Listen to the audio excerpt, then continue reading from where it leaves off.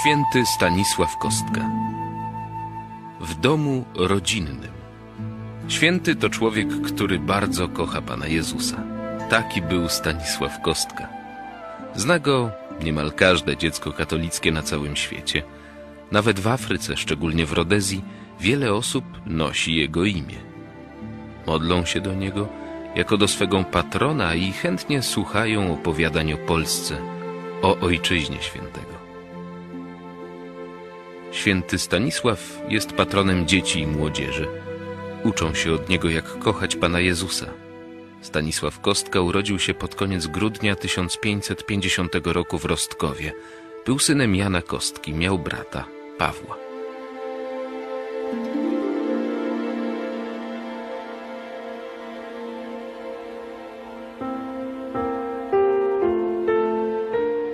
Rostków jest wioską oddaloną około 100 kilometrów od Warszawy.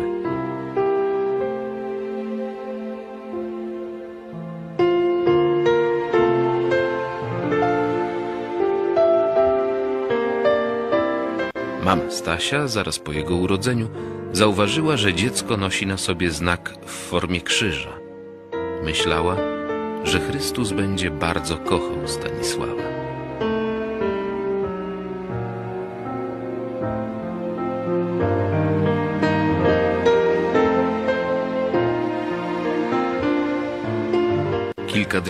Urodzeniu zaniesiono chłopca do kościoła parafialnego w Przasnyszu, żeby go ochrzcić. Chrztu świętego udzielił miejscowy proboszcz, ksiądz Jan Zarukowski. Na chrzcie dano mu na imię Stanisław.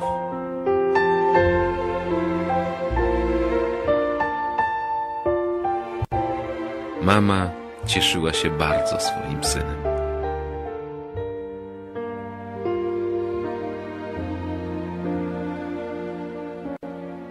Pani Małgosia składała dwa razy dziennie rączki małego Stasia do modlitwy. Wszczepiła w jego serduszko gorące nabożeństwo do Matki Bożej, którym odznaczał się przez całe swoje życie.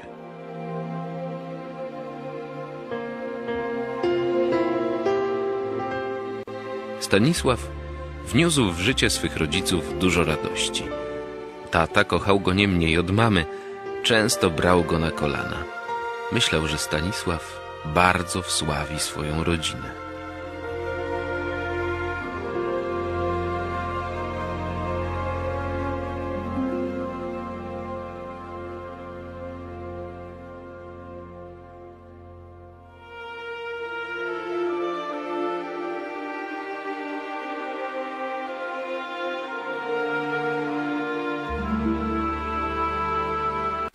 Staszek, podobnie jego rówieśnicy, lubił się bawić. Dął wróg, jeździł na drewnianym koniu, wymachiwał radośnie szabelką.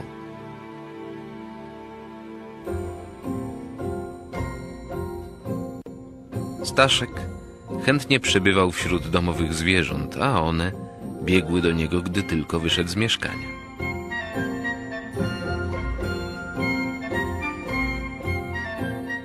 W okresie żniw rolnicy ciężko pracowali. Zboże kosili nie maszynami, ale sierpami. Pot spływał po ich twarzach. Staszek przynosił dla nich z domu dzban chłodzącego napoju. Każdego osobiście częstował.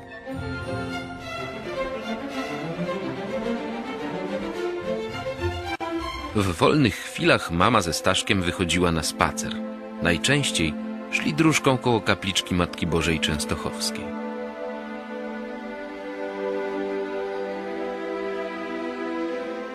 Zatrzymali się. Staszek namawiał bawiące się w pobliżu dzieci do zbierania kwiatów dla Matki Bożej. Potem sam przyozdabiał uzbieranymi w polu kwiatami kapliczkę swojej niebieskiej Pani.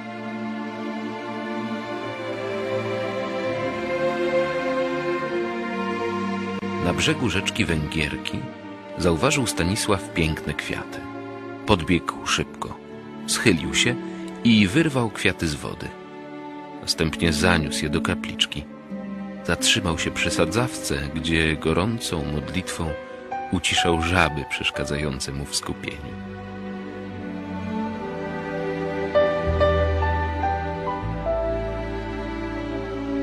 Po przyozdobieniu kapliczki ukląkł. Złożył ręce do modlitwy i rozmawiał z Matką Bożą jak ze swoją, ukochaną mamą.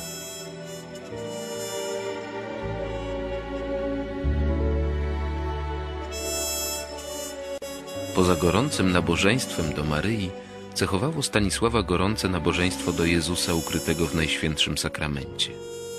Wielkim przeżyciem była dla niego pierwsza komunia święta.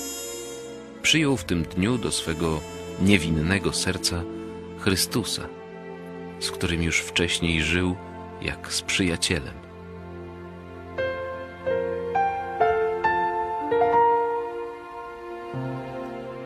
Ojciec dbał o wykształcenie swoich synów, Pawła i Stanisława.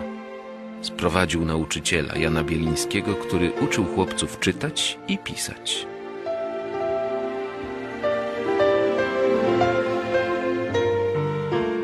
Staszek pilnie odrabiał zadane lekcje. Chętnie uczył się na powietrzu. Często brał książkę i wychodził w pole. Podchodził do chłopców pasących krowy i rozmawiał z nimi.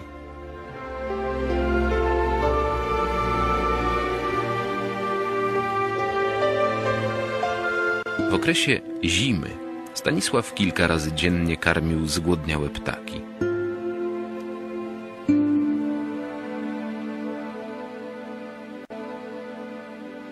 Rodzice chcieli, aby ich synowie wyrośli na mądrych ludzi. W tym celu postanowili wysłać ich do Wiednia, do szkoły ojców jezuitów.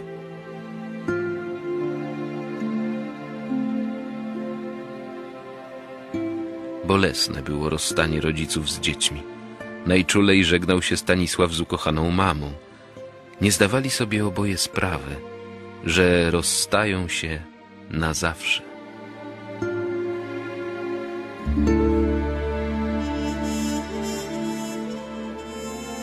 Na wiadomość o wyjeździe Stanisława do Wiednia zebrała się grupa rolników, którzy z żalem żegnali swojego małego przyjaciela.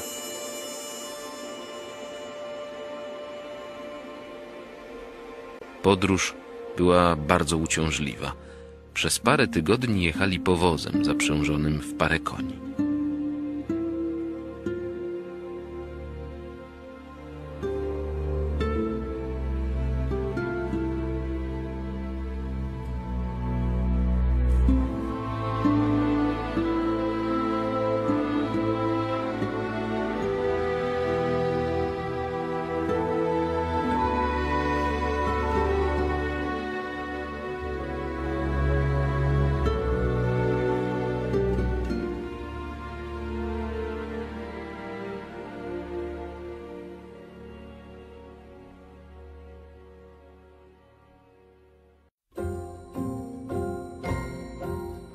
Część druga. W Wiedniu. 24 lipca 1564 roku Stanisław i Paweł ze swoimi nauczycielami i dwoma służącymi przybyli do Wiednia. Strażnik, zapytany o drogę do kolegium księży jezuitów, wskazał ją od razu.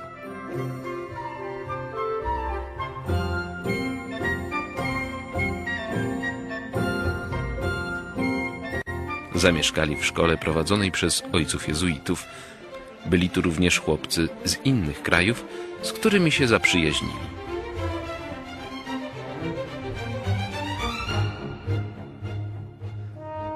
Wszystkich uczniów bardzo serdecznie powitał ojciec jezuita, ich przyszły nauczyciel.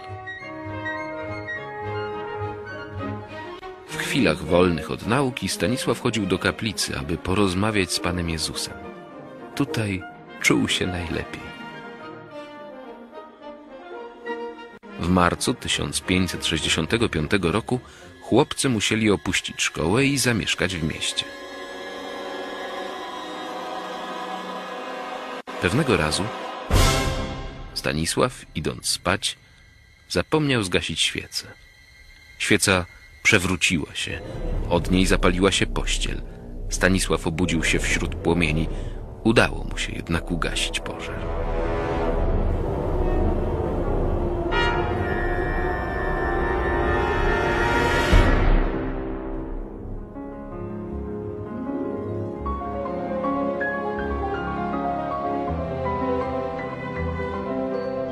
Stanisław nadal pilnie odrabiał lekcje, choć nie brakowało i przeszkód. Hasłem na co dzień było Ad majoris natus sum – do wyższych rzeczy jestem stworzony. Przy okazji przypomniał bratu, że nie przyjechali do Wiednia na zabawy, ale by się uczyć i zdobyć prawdziwe wykształcenie katolickie. Paweł nie mógł odeprzeć zarzutów, wybuchał więc czasem gniewnie i bił młodszego brata.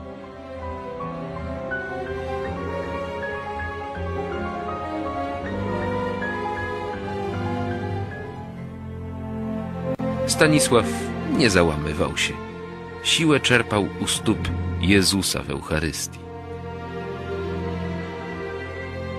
W połowie grudnia 1566 roku Stanisław nagle zachorował.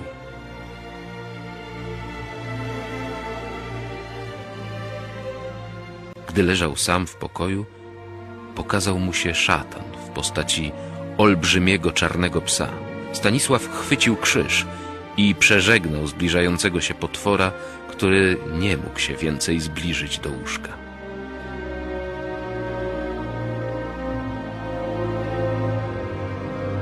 Staś czuł się coraz gorzej. Prosił opiekuna i brata, aby mógł przyjść do niego ksiądz z Najświętszym Sakramentem. Obaj odmówili spełnienia tej ostatniej prośby umierającego. Bali się bowiem gospodarza domu. Wówczas Stanisław zwrócił się do świętej Barbary, patronki dobrej śmierci, o pomoc. Wysłuchała jego prośby. Po północy przyszła sama w towarzystwie dwóch aniołów. Jeden z nich miał puszkę z Najświętszym Sakramentem. Stanisław podniósł się i z rąk anioła przyjął komunię świętą.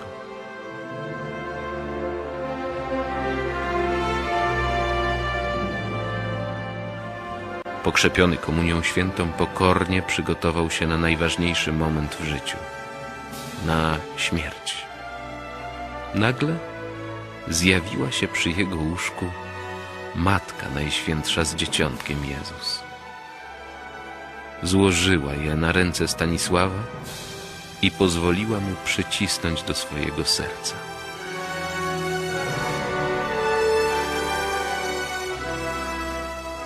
Po chwili Matka Boża odebrała z rąk Stanisława dzieciątko Jezus.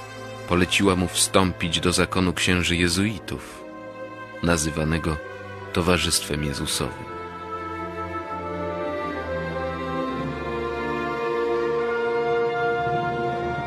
Po tym widzeniu stan zdrowia Stanisława poprawił się. Następnego dnia poszedł ze swoim opiekunem do kościoła i podziękował Bogu za łaskę uzdrowienia.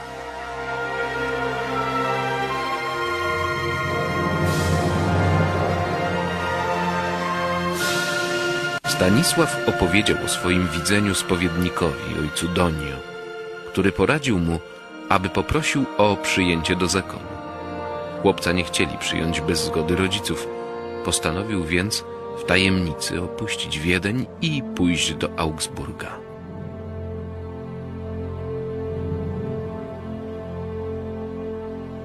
Przed potajemnym opuszczeniem Wiednia dał swemu koledze list z prośbą, by dostarczyć go następnego dnia Pawłowi lub Bielińskiemu, opiekunowi chłopców.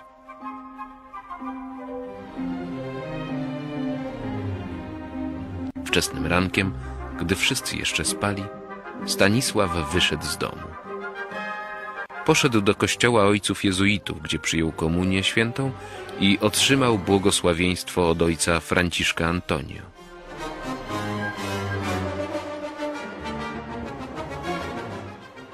Opuścił miasto i udał się do Augsburga.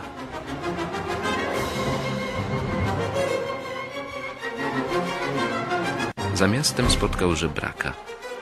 Dał mu swój bogaty ubiór, a sam założył jego łachmany.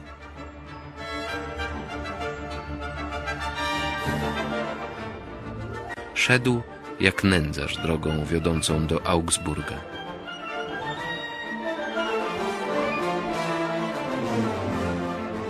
W południe posilił się kawałkiem chleba.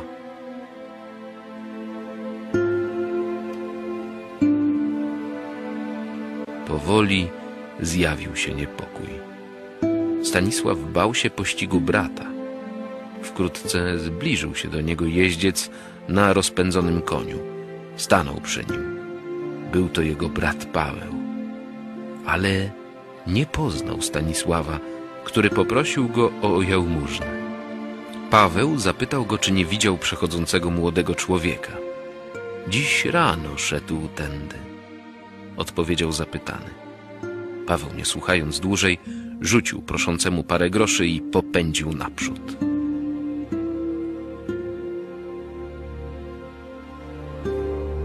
Stanisław przeszedł przez rzekę i szybko pobiegł polami, prowadzony jakąś nadludzką siłą.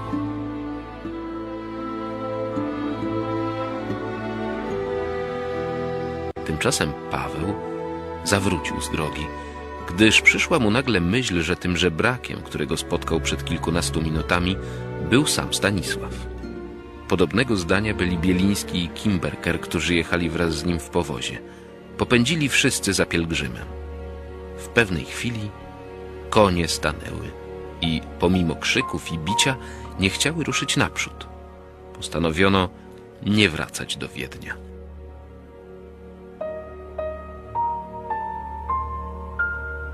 Na rozstaju dróg stał krzyż.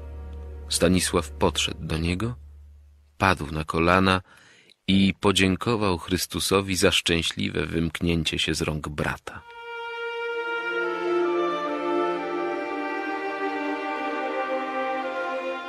Po gorącej modlitwie siadł nad brzegiem rzeki i odpoczywał.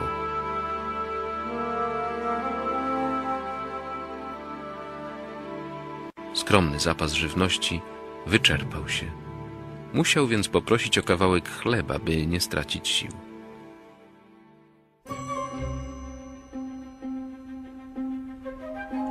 Kilka kilometrów przed Augsburgiem zauważył kościół. Serce zaczęło mu bić radośniej. Cieszył się, że będzie mógł przyjąć komunię świętą.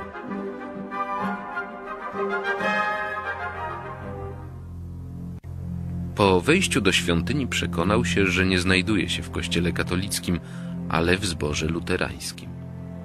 Tak bardzo pragnął przyjąć komunię świętą. Pod wpływem wielkiego rozczarowania zalał się łzami.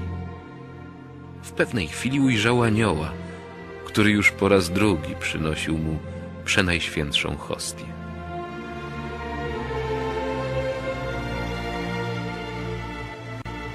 Pokrzepiony ciałem Jezusa udał się Stanisław w dalszą drogę.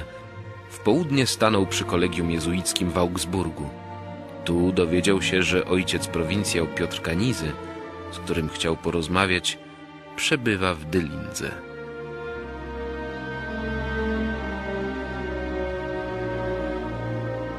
Podziękował za informację i udał się w dalszą drogę.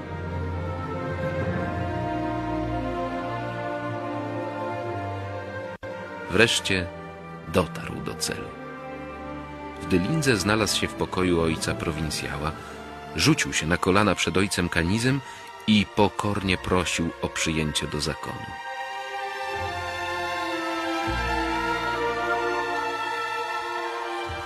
Ojciec prowincjał chciał wypróbować cnotę Stanisława i dlatego skierował go na kilka tygodni do ciężkiej pracy w konwikcie świętego Hieronima. Stanisław zabrał się do niej z radością i zapałem.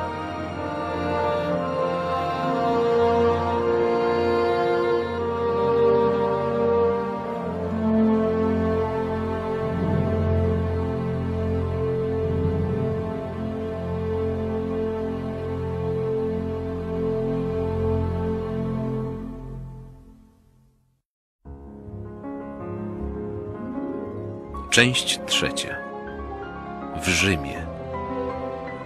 Ojciec prowincjał w obawie przed krewnymi Stanisława wysłał go w towarzystwie dwóch kleryków do Rzymu.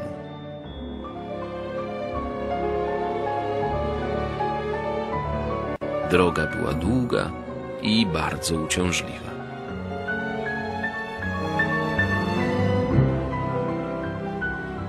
Najwięcej trudu kosztowało przejście przez Alpy.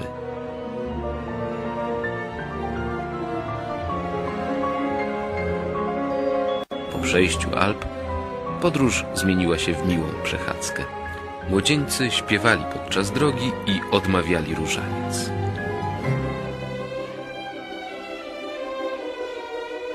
Pomimo zmęczenia na ich twarzach zagościł uśmiech szczęścia, gdy ujrzeli kontury wiecznego miasta.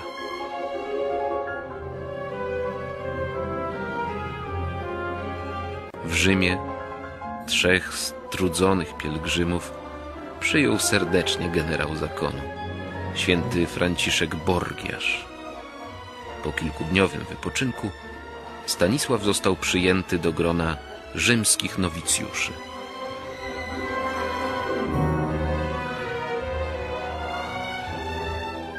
W pierwszym okresie nowicjatu Stanisław wraz z innymi nowicjuszami odprawił miesięczne rekolekcje. Czas przeznaczony na modlitwę wykorzystywał jak najstaranniej. Najchętniej modlił się w kaplicy domowej u stóp Jezusa Eucharystycznego.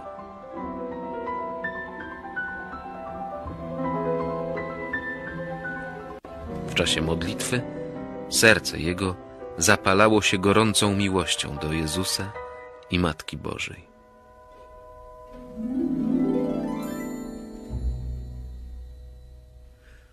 Nowicjat jest okresem próby. Stanisław na równi z innymi nowicjuszami dużo pracował.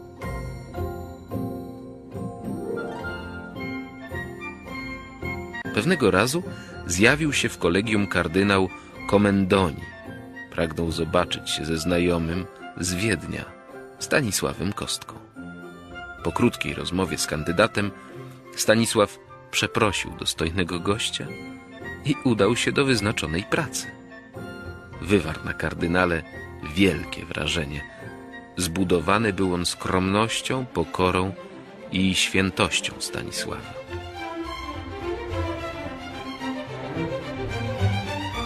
W nowicjacie odwiedził również Stanisława Mikołaj Lasocki, dawny znajomy z czasów wiedeńskich. Przyniósł młodzieńcowi do przeczytania list, w którym szczegółowo ojciec opisał, co przeżył na wiadomość o wstąpieniu syna do zakonu. Kasztelan skarżył się na Stanisława, że opuścił rodziców i założył ubrania, które noszą żebracy. Po przeczytaniu tego listu Stanisław rzekł do Lasockiego Gdyby mój ojciec mógł zrozumieć wielką łaskę, jaką obdarzył mnie Bóg, wprowadzając do towarzystwa Jezusowego, pewien jestem, że cieszyłby się bardzo z mojego postępowania. Pomimo ciosu, jakim była dla Stanisława ta wiadomość, pozostał wierny powołaniu.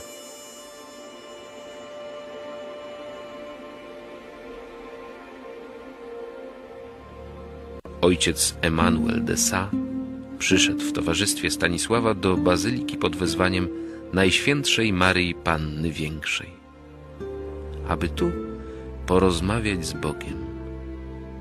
Stanisław zapytany, czy kocha Matkę Najświętszą, odpowiedział Ojcze, jakże nie miałbym jej kochać, wszak to Matka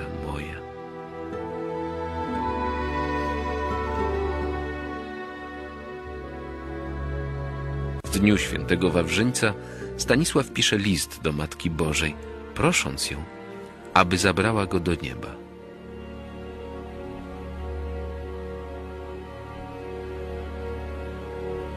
W dniu 9 sierpnia Stanisław zachorował. Zdawał sobie sprawę, że jego choroba jest nieuleczalna. Mówił więc wszystkim odwiedzającym go, że umrze 15 sierpnia. Nikt jednak nie brał tych słów poważnie.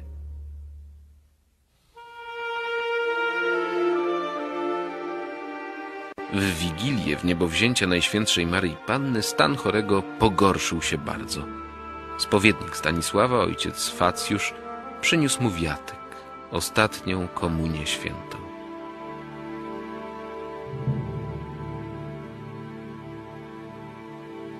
Z 14 na 15 sierpnia Przy konającym Stanisławie czuwało kilku ojców. Po północy Stanisław poprosił ojca rektora, aby pozwolił mu umrzeć na podłodze. Prośbę spełniono.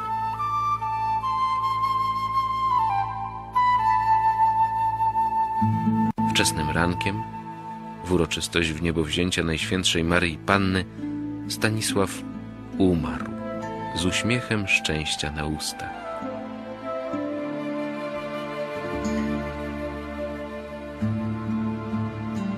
Stanisław kochał szczerze Matkę Bożą. Chciał jej święto obchodzić uroczyście w niebie. Matka Boża wyprosiła mu tę łaskę u Boga.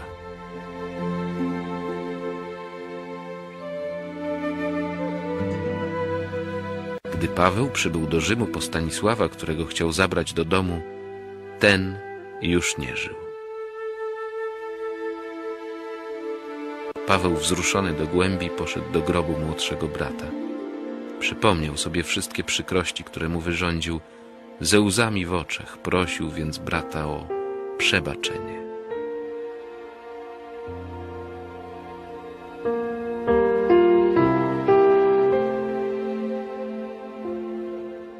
Nikt nie wątpił, że Stanisław znajduje się w niebie. Modlono się więc za jego przyczyną o różne łaski.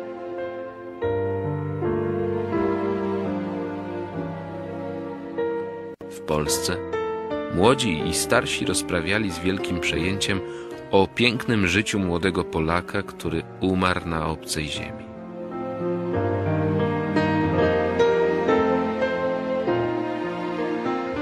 Nawet królowie polscy zwracali się do niego z różnymi prośbami. Król Zygmunt przed bitwą pod Chocimiem w pokornej modlitwie prosił Stanisława o pomoc. Stanisław nie zawiódł pokładanych w nim nadziei.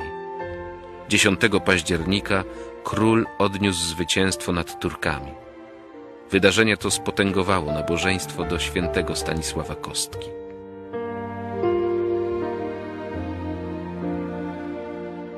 Również król Jan Kazimierz w ciężkich chwilach prosił Boga o pomoc za przyczyną świętego Stanisława. Polecał jego opiece cały naród polski, gdy król stanął do walki z nieprzyjacielem. Odniósł wspaniałe zwycięstwo pod Beresteczkiem. Jako wyraz wdzięczności złożył u stóp Stanisława drogocenny dar.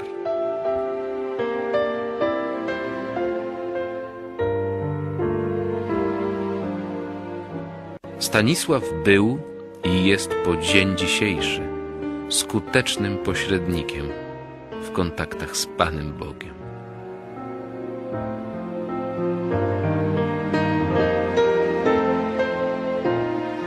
Szczególnie dla dzieci.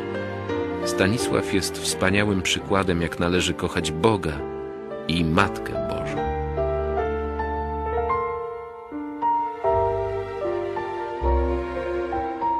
Żyjąc krótko, przeżył czasów wiele.